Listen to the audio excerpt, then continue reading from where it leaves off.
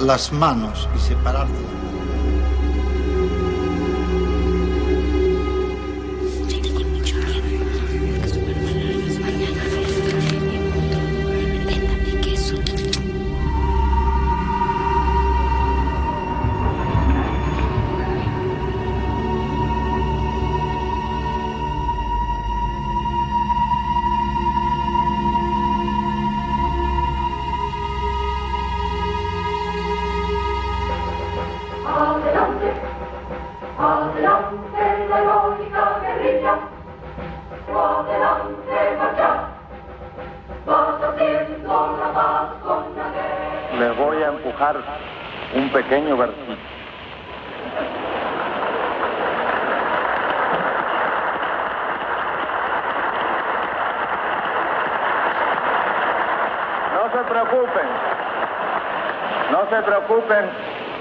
Porque no es de mi propia inspiración, como dicen.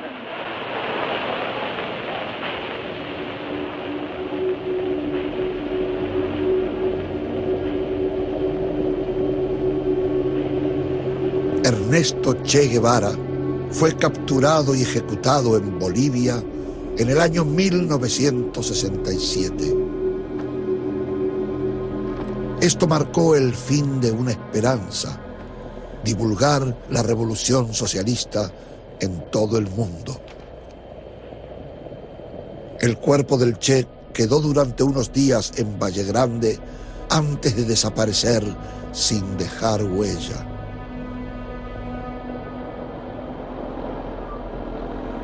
Nadie supo lo que fue de sus despojos mortales hasta que 30 años después se los encontró bajo la pista de aterrizaje de Valle Grande. Con este hallazgo parece ser que se ha desvelado el último mito en torno a la vida y la muerte del Che Guevara, hasta que se descubrió que al cadáver le faltaban las manos.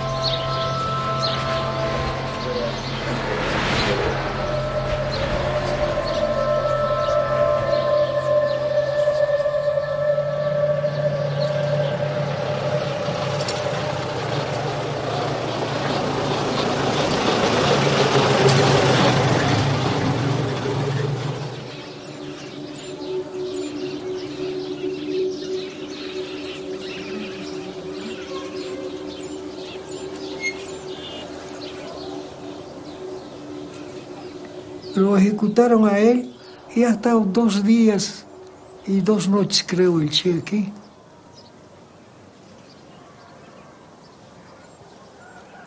Yo llego a la puerta, habían habido dos soldados a la entrada, en, este lado. Y aquí habían habido como diez soldados. Y seguramente esos lo han custodiado durante toda la noche porque tal vez pensaban que se lo podían haber eh, raptado al cadáver del Che, podían habérselo llevado. Por eso sería. Cuando yo voy a sacar una foto, dice, hice, yo pensé que aquí había sido planos, no sé cómo, por aquí atrás me senté y me paré, y de ahí saqué una foto cerca, que es la foto esta, de la cabeza con los ojos abiertos.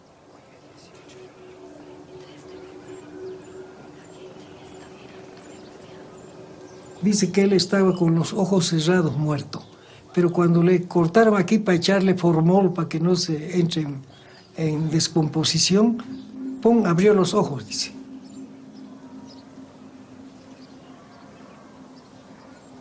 Y estaba ya un poquito trascendiendo ya con, con sus narices así, con, con un pañuelo así pasaban por acá. Todos le han sacado de aquí, de allá afuera, con gente cruzando, de toda clase. Pero nadie se subió encima y lo sacó de cerquita. Por eso han dicho, esta foto ha dado la vuelta al mundo, han dicho la mejor foto de Che, han dicho.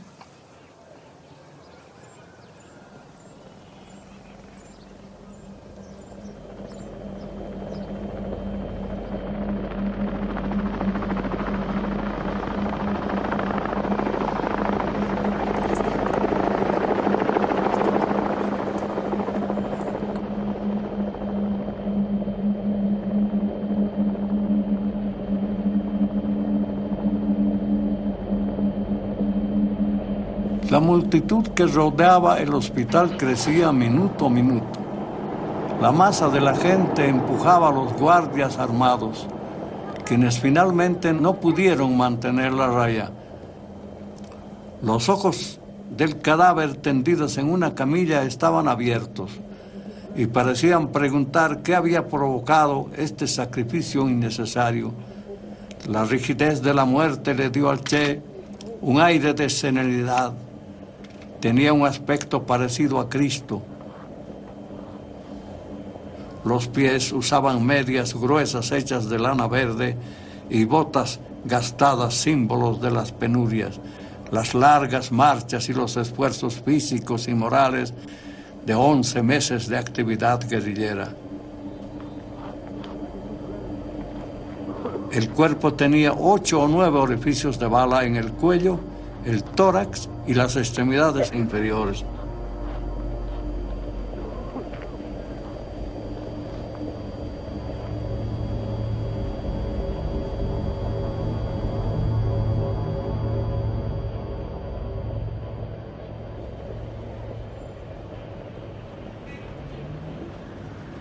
Un día, cuando estuve en Valle Grande, de corresponsal del Diario de La Paz, yo me reunía siempre, almorzábamos juntos con Martínez Caso, que era el médico del hospital. Un día me sorprendió el dueño del, del, restaurante y me dijo, ¿por qué no vienes mañana? Y haces, le hacemos una trampa, ponemos una grabadora, porque Martínez Caso está hablando huevadas. Dice que le había cortado las manos del Che, entonces, para que te cuente. Entonces al día siguiente yo fui, preparé la mesa, obviamente, puse la grabadora debajo de la mesa y conversamos con él. Llegó y como le gustaba beber, le puse una botella de Singani y él bebía. Y más o menos ya cuando estaba lúcido, diríamos, comenzó a relatarme el corte de las manos del Che. Lo que más me impresionó fue la descripción física que me hizo. Dijo, el cadáver del Che tenía las manos así, cerradas, por el rictus cadavérico. Pero se despidió de mí el Che. ¿Cómo que se despidió? Le digo yo. ¿Cómo se despidió de ti? Cuando le corté las manos, los tendones aflojaron e hizo así las manos del Che. Se ha despedido de mí el Che y se puso a llorar. Borracho siempre hasta que perdió la razón y se ha muerto. Pero la grabación funcionó.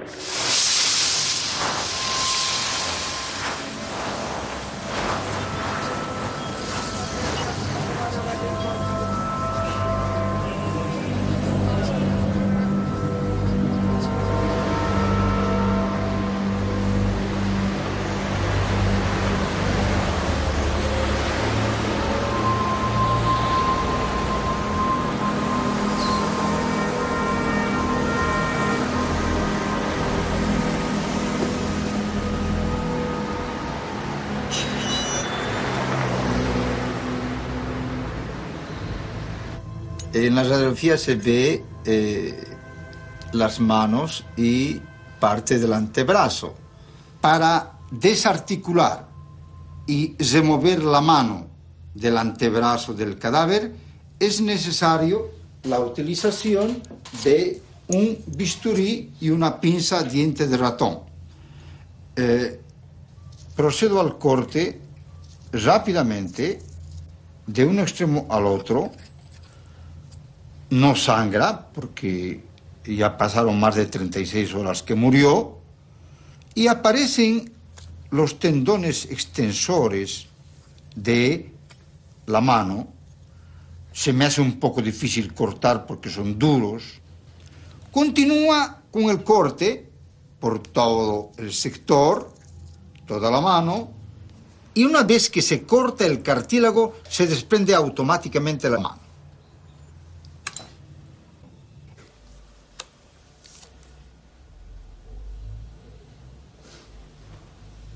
Yo tengo aquí fotografías para mostrarle eh, las dos funciones que ejercía en la época de la guerra.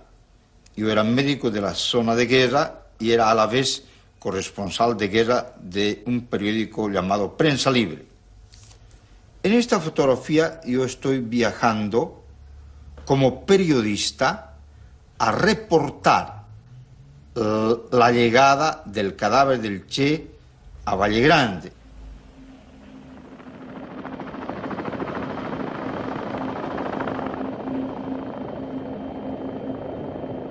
Lo veo amarrado a los pies del helicóptero con cuerdas. Tenía un rostro aún con los ojos cerrados, pero un rostro sereno. Un rostro que denotaba la eh, valentía del hombre y que había enfrentado la muerte con coraje. Le confieso que yo casi me desplomo, casi me desmayo, porque yo tenía admiración por Ernesto Che Guevara y lo vi muerto, con absoluta certeza.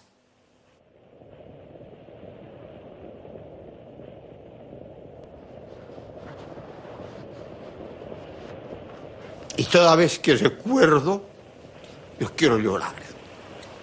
Toda vez.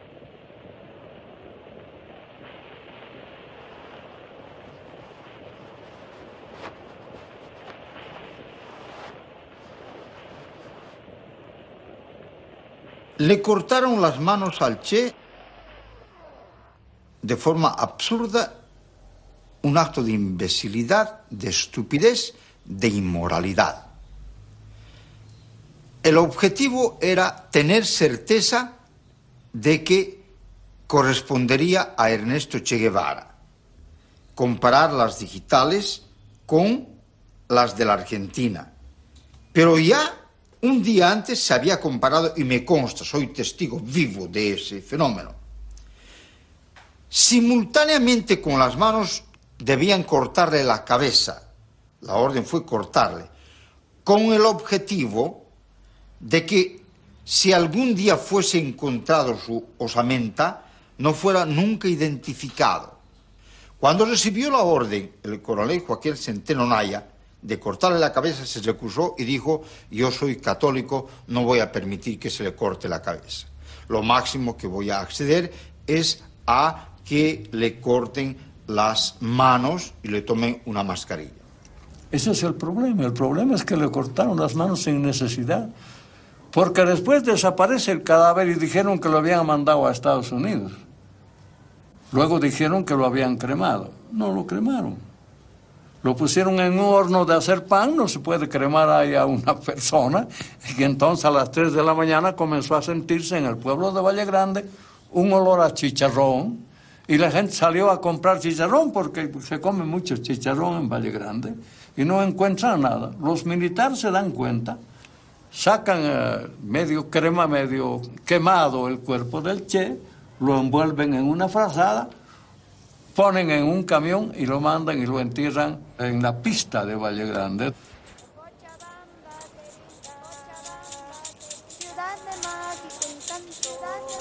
No te olvides, prenda mía, no te olvides, medio no te olvides, prenda mía, lo que te El río Rocha Turbio. Pinta su hermoso verdor, tierra lo que es de Bolivia, tu tu corazón. El río Rocha Turbio. Pinta su hermoso verdor, tierra lo que es de Bolivia, tu corazón. Cochabamba, Cochabamba, Uno de los principales motivos por los cuales fracasa la guerrilla del Che en Bolivia es la traición y la falta de ayuda del Partido Comunista Boliviano. En este país existía un partido comunista muy activo, se movía mucho, tenía muchos militantes, pero este Partido Comunista no ayudó tampoco al Che Guevara en la guerrilla y lo llevó más bien, en vez del triunfo, hacia el fracaso. El Partido Comunista muestra que no está dispuesto a tener una guerrilla que ellos no dirijan.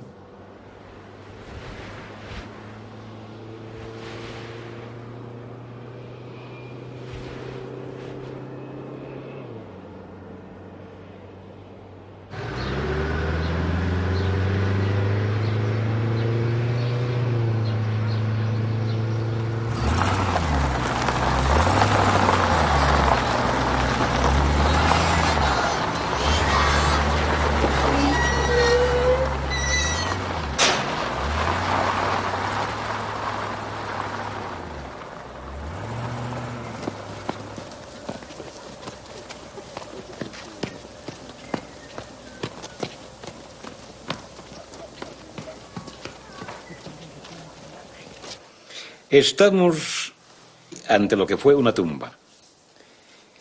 Aquí yacieron los restos, como les digo, de siete héroes. Héroes porque lucharon por una causa justa. Seis de los cadáveres estaban completos. Sorprendentemente, a uno de ellos le faltaban las manos. Aquí es donde quiero contarles una historia en la que particularmente me tocó intervenir. Es una historia que al cabo de más de 30 años, casi 40 años, todavía me conmueve. Es la historia de la suerte que me deparó el, destino de poder colaborar a la historia del Che Guevara. Las manos fueron a dar a poder mío en La Paz. Debíamos lle- llevar las manos hasta eh, Cuba y entregaron personalmente las manos a Fidel Castro, que como ustedes saben es el presidente de Cuba. Este es el comienzo de una historia fascinante que ahora voy a relatarles. El Che Guevara fueron llevadas a Cuba muchos años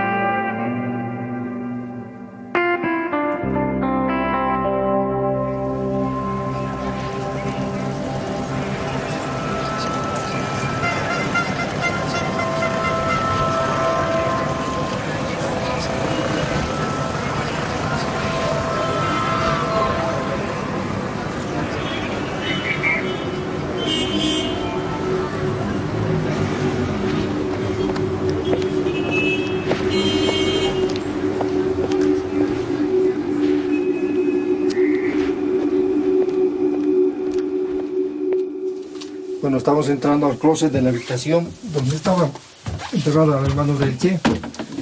Esta es un- una construcción de doble fondo y en la parte de abajo es donde estaban la fosa que guardaban los restos de las manos del Che.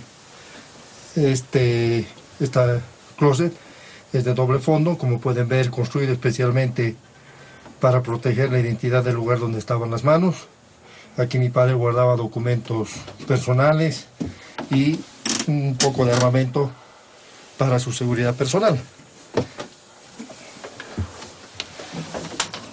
Antonio Arguedas era un hombre intelectual, muy capaz, mm, le encantaba leer. Era un hombre bueno, quería a sus hijos.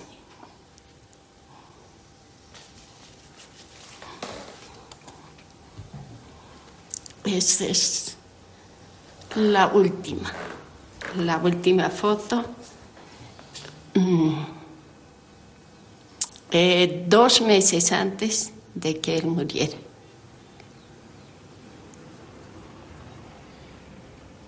Él ha sido un personaje político en su origen de carácter populista y de ideas izquierdistas y marxistas. Como él ocupaba un cargo de esa magnitud, de esa jerarquía, después que le cercenan las manos en no se sabe en qué lugar al cadáver de Ernesto Guevara, le llega a su despacho las manos y la mascarilla con la orden de, Obando, del general Obando, que era comandante en jefe, de destruirlas o hacerlas desaparecer. Nuevamente mi padre toma el recaudo de ponerlas en formol y la mascarilla en un buen lugar y las entierra. Era un misterio de dónde había enterrado las manos y la mascarilla del comandante Guevara. Que de ahí se enojaron por los los americanos y todo eso, y ahí empezó.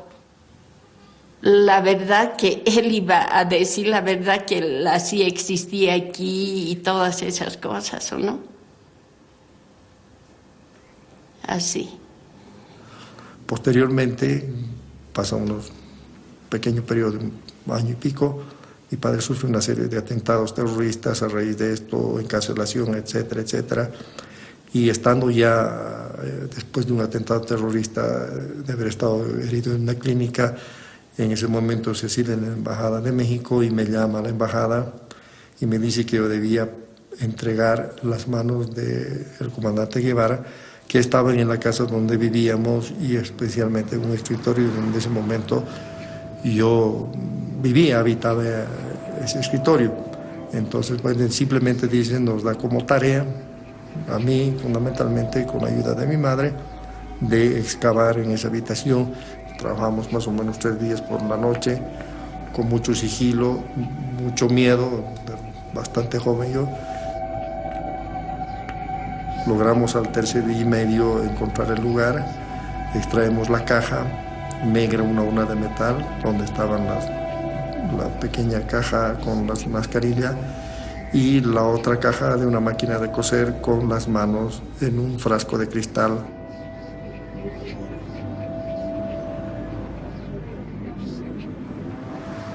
Dos manos estaban bastante deterioradas, estaban en esta posición, una al lado de otra, donde se veía un poco despellejada la yema de los dedos y un corte muy que me impresionó mucho en el lado de la muñeca. Tenía un color medio verdoso, no sé, posiblemente en descomposición. Y bueno, la emoción fue muy grande, que ha sido una relación momentánea de verla por horas desde el momento que la extraemos. De eso solamente nos quedó la bandera, la bandera que estaba, cubría las manos y la mascarilla del Che.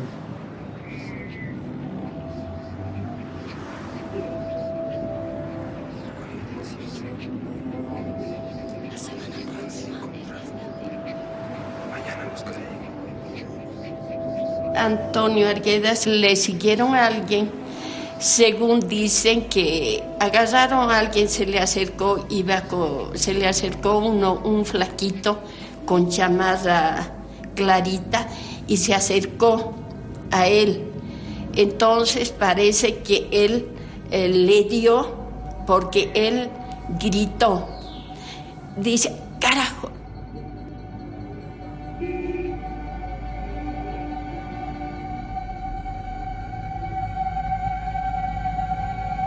y ahí fue donde explotó. Y bueno, lo último fue el este, Eh, en el entierro, eh, acá tenemos una bandera de Bolivia. Esto estaba envuelto en la urna de las manos del Che. Y él sacó mi hija y lo puso en su, en su ataúd. Ese es lo último.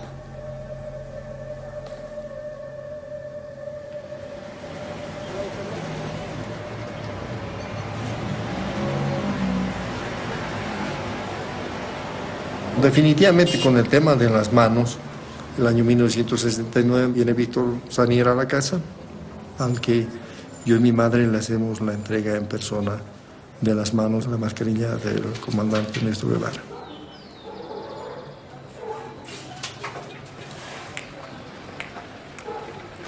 Creo que encontré el número.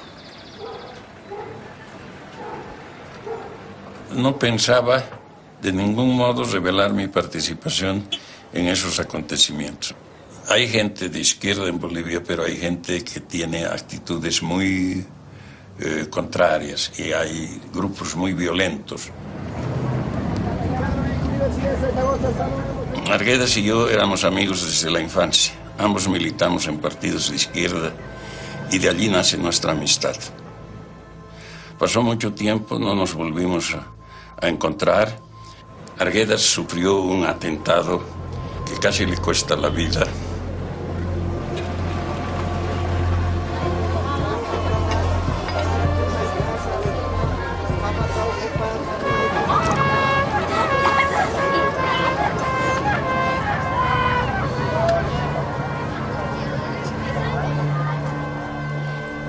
Me hizo llamar en la oficina donde yo estaba, vino su hijo Carlos y me dijo que su papá tenía eh, urgencia de verme y que me llamaba. Y Arguedas, sin mucho preámbulo, me dijo que había resuelto entregarme las manos y la mascarilla del Che que estaban enterradas en su casa y que ese mismo día, por favor, fuese allí para que su esposa y su hijo me muestren de dónde iba a recoger aquellas cosas.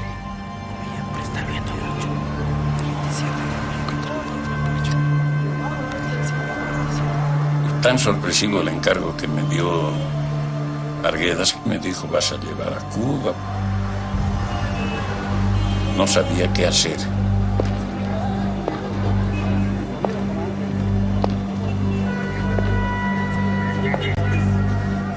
Previamente había comprado un maletín y puse en ese maletín las manos y la máscara. Agarré un, un taxi y fui.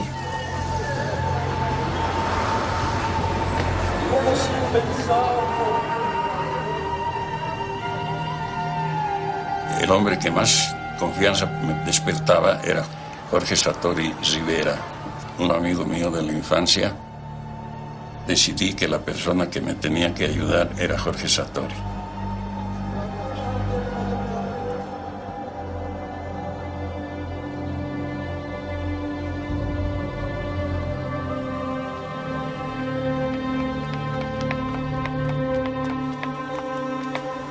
En 1969 empecé a compartir vivienda con mi camarada y amigo Jorge Satori, al que había conocido algunos años antes y con el que había hecho ya una amistad muy fuerte. Jorge Satori era un comunista con muchas cualidades, honesto, valiente, firme en sus convicciones, en fin, fue en estas circunstancias que Jorge recibió el llamado de Chanier para acudir a la cita del café OK y me preguntó Jorge si yo podía acompañarlo. Se notaba en Chanier una sonrisa nerviosa. Y cuando se animó a iniciar la charla fue de lleno al grano. Nos preguntó a Jorge y a mí si sospechábamos lo que vi en el bolsón de cuero. Estos son los despojos, como les he dicho, y me he comprometido a hacerlos llegar a, Cuba. Pero lamentablemente no tengo los medios para hacerlos llegar hasta la isla. Ustedes podrían hacer que estos restos lleguen hasta Cuba. Por ustedes hay que entender el Partido Comunista, del que tanto Satori como yo éramos militantes.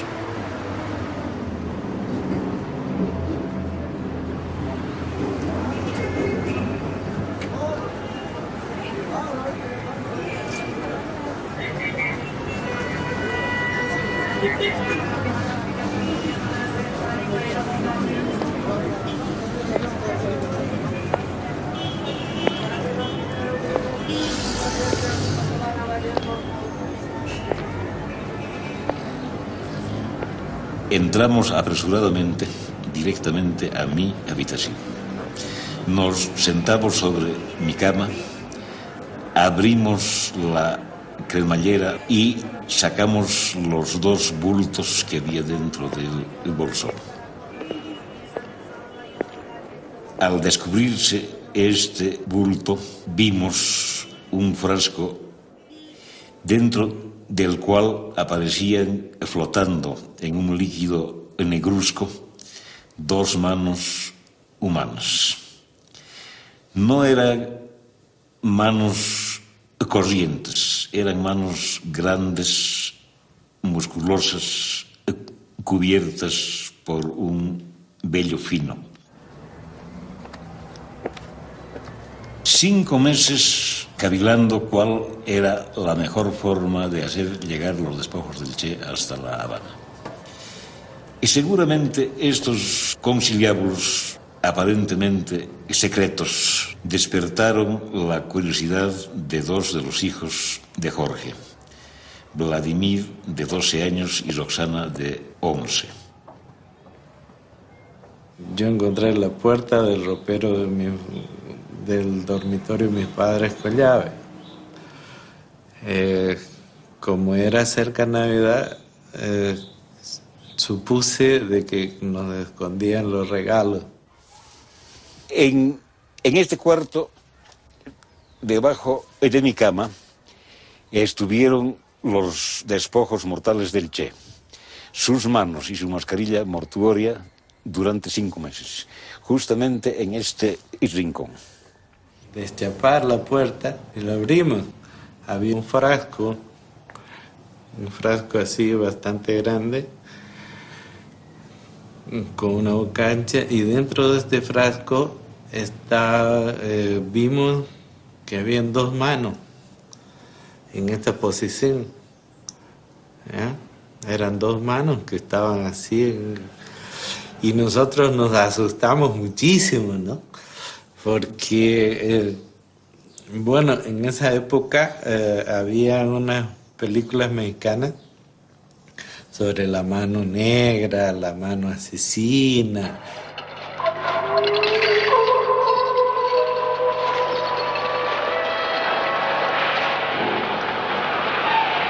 Estas manos tenían las facultades de subir paredes o entrarse por las ventanas y asesinar a las personas que encontraban, especialmente a las mujeres.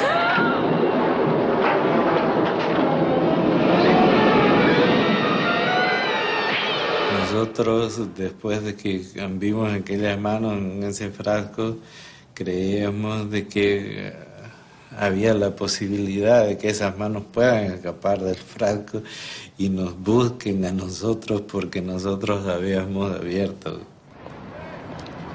Nunca comentamos eh, con nadie más del temor que teníamos por las manos nosotros.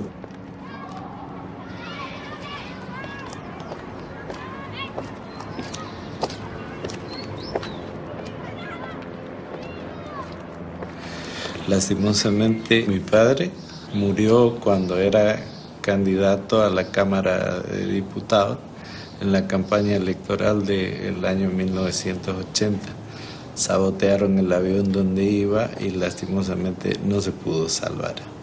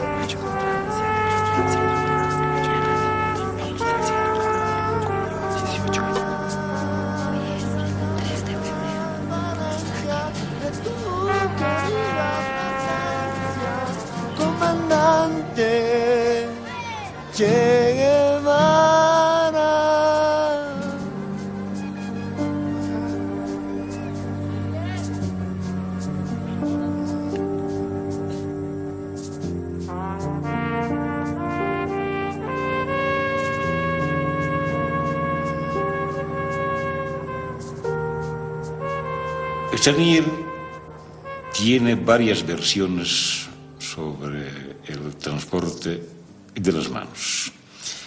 Cuando salen a luz pública mis primeras declaraciones, Chanier inventa una otra versión. Yo no fui víctima de una infidencia, sino de una delación. Una de las personas que viajó hasta Moscú, militante del Partido Comunista, me involucró en, unas declaraciones que él hizo. ¿no? Se llama mm, Juan Coronel. Y dice, el, el hombre que llevó hasta Moscú, dice. El riesgo de ser descubierto se hacía cada día más fuerte, porque no hay que olvidar que el Partido Comunista había sido puesto en la ilegalidad y que tanto Satori como yo éramos conocidos por nuestra militancia, que algún día podía caer la policía en la casa de Satori. Se, se discutieron, eh, se discutió uno el saber quién iba a sacar las manos, si Satori o yo. Y determinamos en Satori y yo que quien debía sacar las manos era yo, porque él era más conocido que lo que era conocido yo. Y determinamos que la vía más segura era el viaje vía Moscú y llevar el maletín en la mano. No estaba a la altura de los acontecimientos y niego terminantemente que él haya tenido una participación en los asuntos que se atribuye. Pero las manos de, y la máscara del Che viajaron desde La Paz hasta Moscú en valija diplomática. La gente pregunta por qué se envió eso a la Unión Soviética. Es muy sencillo. Los soviéticos eran absolutamente contrarios a la guerrilla. Y cuando ocurrió esto, los primeros que querían tener una prueba de que el Che había muerto también eran los soviéticos. Tenían información, pero no tenían seguridad. Entonces yo presumo que se llevó a Moscú y allá los servicios de inteligencia soviéticos destaparon, revisaron, fotografiaron, hicieron todo lo que hace un servicio de inteligencia, ¿no? Передо мной отрубленные человеческие кисти. Правой Кисти, и ледяная левой инъекция руки. формалина. Возможно, Эрнесту Че принадлежавшие Геваре. Че Геваре.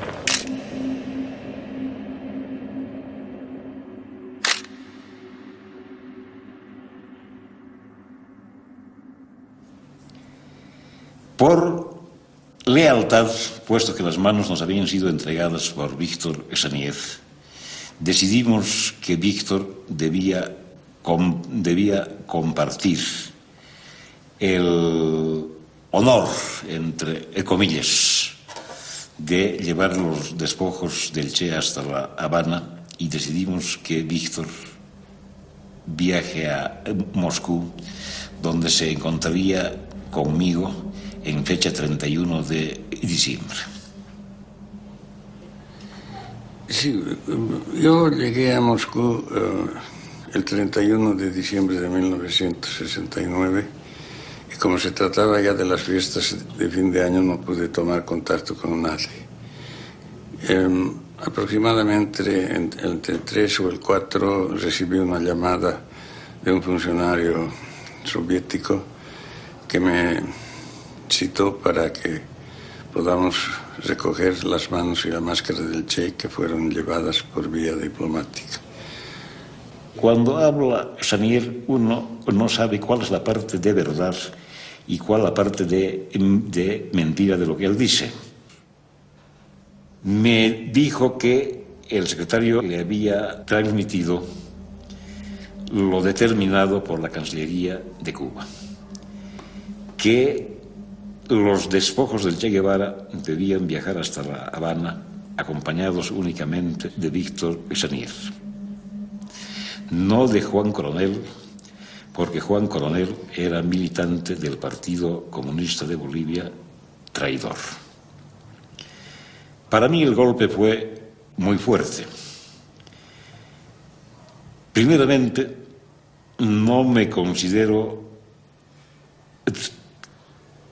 traidor bajo ninguna circunstancia.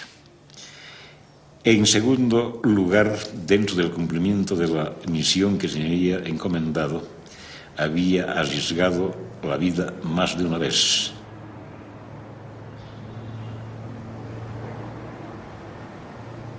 Esa misma noche, los despojos de el Che Guevara y el comandante de América viajaban de Moscú a La Habana acompañados del primer secretario y de la embajada y de Víctor Sanier Valenzuela.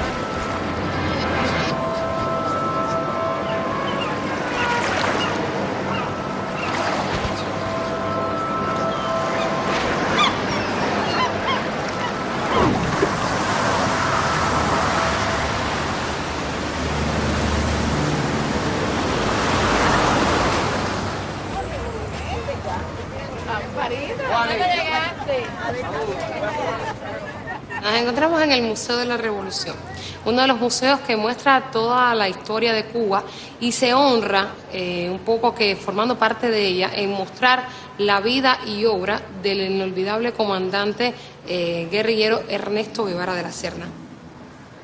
Los objetos que vamos a mostrar de valor único, excepcional aquí en nuestro museo, es mm, quizás una visión más cercana de ellos y también, por supuesto, al Che.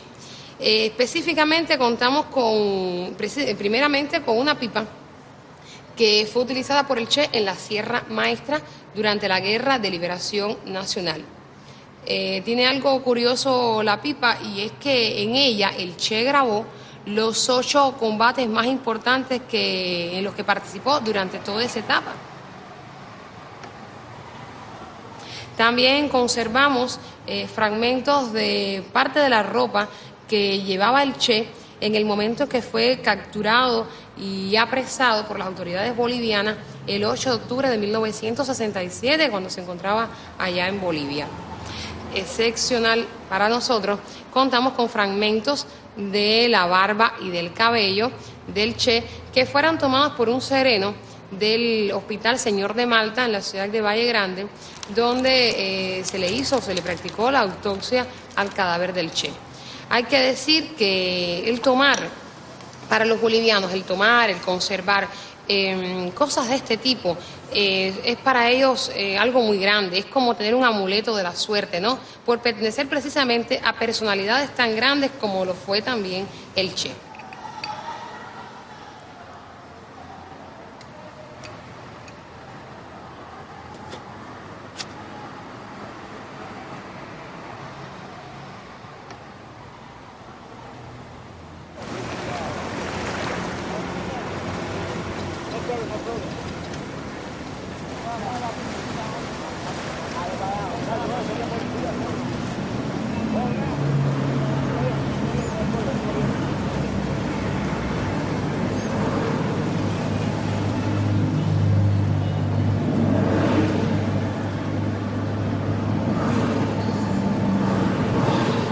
Me encuentro en La Habana después de un largo tiempo. He venido con el objetivo de entrevistarme con el comandante Fidel Castro, a quien no veo desde hace 35 años, cuando fui portador de las manos y la mascarilla del Che. Me gustaría muchísimo ser recibido y conversar sobre aquellos asuntos y el tiempo transcurrido. Porque si hay una persona que tiene una idea clara de cómo han llegado a su poder, al poder del gobierno cubano, las manos y la máscara del Che, es el propio comandante Castro.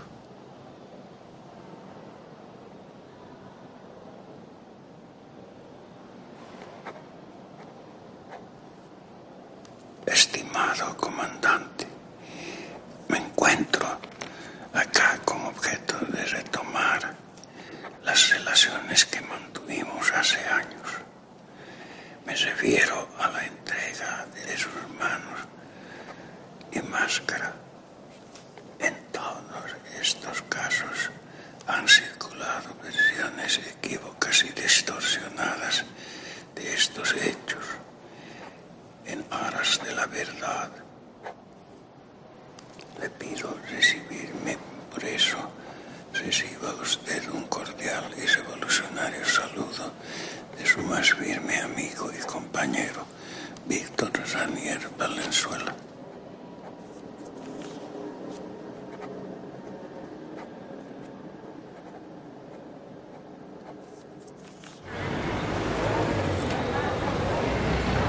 Cuando llegamos en el vuelo de Moscú a La Habana portando las manos y la mascarilla del Che, y el primer comentario de Fidel fue que realmente lo que habíamos trasladado era algo impresionante y a la vez doloroso, que le había impactado muy fuertemente, dijo. ¿no?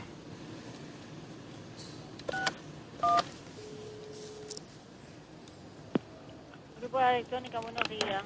Buenos días, mire, soy Víctor Sanier, he llegado, estoy en La Habana, he llegado de Bolivia, quisiera No está hablar... asignado a ningún abonado. Hola, Está hoy aquí en La Habana. no está en La Habana. Soy Víctor Sanier, buen día, Bueno, no sé si mañana. le rogaría entonces a su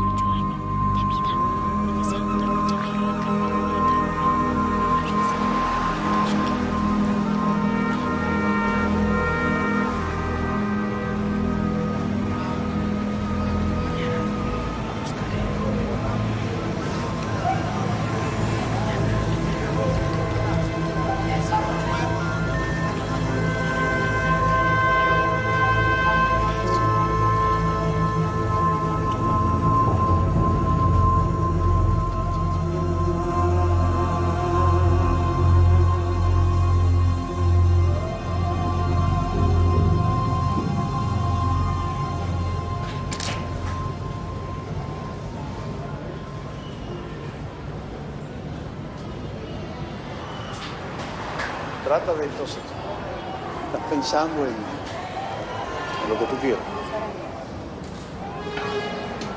Esa es la cosa. Si quieres, recuesta la cabeza. La primera vez que yo veo el Che es en Palacio. Esto sería la primera semana después del triunfo de la revolución, el día 10, el 12, el 14. Entonces, veo la gente, le pregunto, ¿y dónde está el jefe? Dice, no, está ahí adentro hablando con una gente. Y cuando me asomo, él está en una mesa hablando con el Che. Es cuando yo hago esta fotografía, que es la primera foto que yo le hago al Che. ¿Ves cómo todo está iluminado con la luz del fósforo? Pienso que alrededor del año 71 tenemos que ir a la Plaza de la Revolución y se estaban haciendo ahí una prueba porque había una idea de exhibir las manos del Che. Eh, estaban haciendo pruebas para ver cómo se iba a presentar. O sea, que se quería enseñar al público, pero ¿cómo vamos a hacer? Que si se ponía una, en una urna de cristal, si le ponían un uniforme, porque había la idea, yo oí la gente hablando ahí, habían varias personas, que el problema de ponerlo con un uniforme era para poder enseñar las manos. Como que las manos estaban cortadas, la camisa, ¿no? Tapaba la, la parte de arriba, nada más que se veía las manos. Y se estaban manejando algunas ideas. No se llegó en ese momento a ninguna conclusión. Yo sí, la- las manos casi yo ni las vi. Yo sé que estaban ahí de lejos, ¿no? Además, una cosa un poco violenta, ¿no? Por eso no me, no me, no me incliné mucho a querer asomar la cabeza a mirar.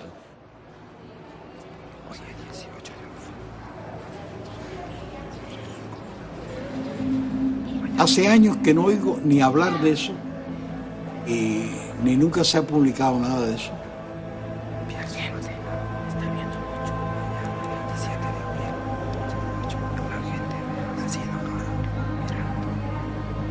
En un final nunca se llegaron a exhibir, porque no se llegó una conclusión a cómo se iba a enseñar las manos, ni se llegó una conclusión a cómo van a enseñar la mascarilla.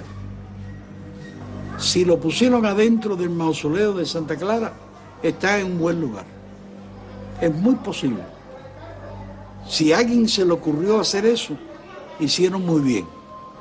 Porque realmente no, no le veo el objetivo de, de una cosa así eh, macabra. Porque no tiene ningún tipo de significado.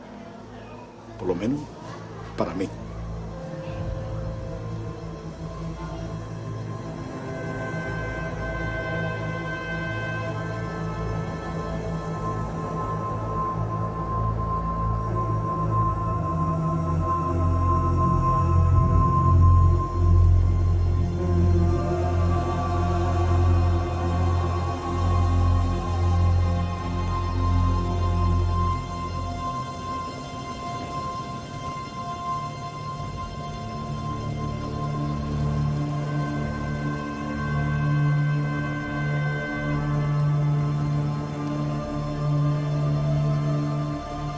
Mascarilla que traje es bastante diferente de lo que veo acá en el memorial.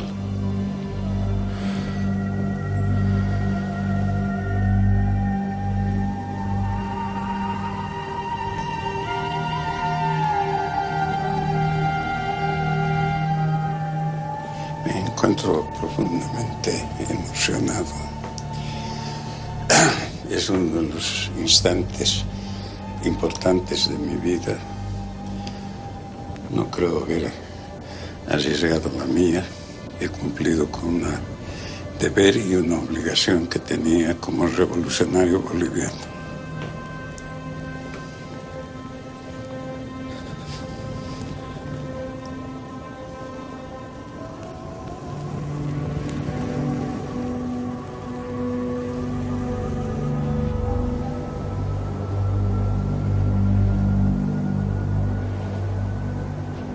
El comandante es un hombre realmente muy, muy ocupado.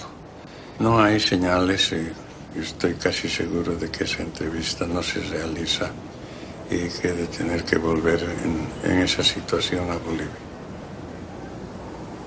Bastará que diga que hay la versión de que está en manos del Consejo de Estado y que eso no está a disposición del público, puedo añadir, ¿no?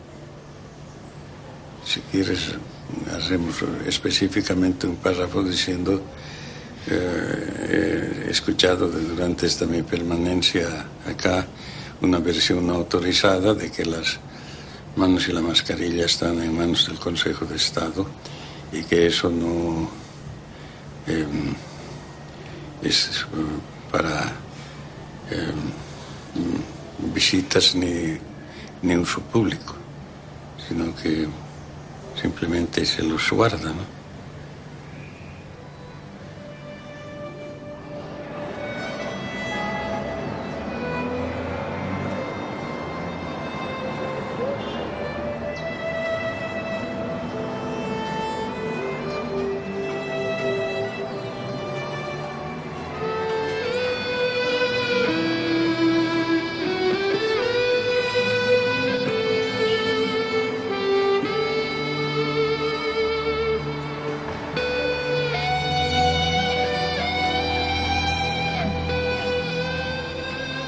Es muy difícil describir las manos.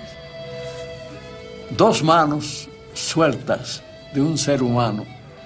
No sé cómo podría describir. Te aviso que derramé lágrimas cuando vi, porque yo esas manos las estreché en el año 1960. Una vez con orden de Fidel Castro me mostraron las manos del Che. Es impresionante muy difícil describir cómo, cómo estaban las manos del Che. Muy, no. ¿Cómo puedes decir estaban así? No, te- no me saludaban ya, estaban muertas, lamentablemente.